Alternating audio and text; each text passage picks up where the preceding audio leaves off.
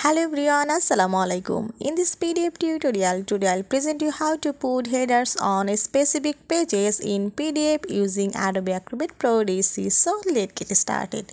I open this PDF document and now I go to page thumbnails to see these pages. There are 6 pages in this PDF documents and I want to put headers on specific only one page or two pages. So how can I do this? First I go to tools menu and go here edit pdf. Now you have to select here header and footer and select add. Now we find a dialog box add header and footer. Now go to left header or center header or right header. I click here center header. So i add the header in center so i click on this.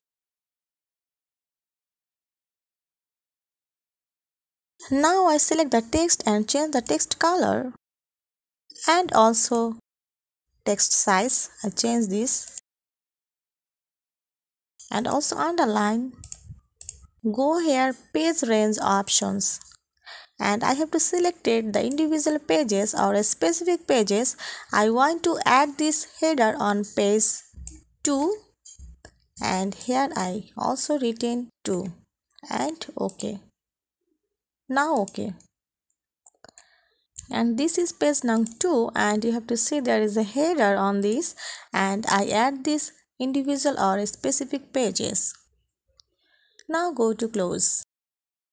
See this is the another pages has no header. So viewers I hope you enjoyed this video. Thanks for watching and don't forget to subscribe my channel. Thank you.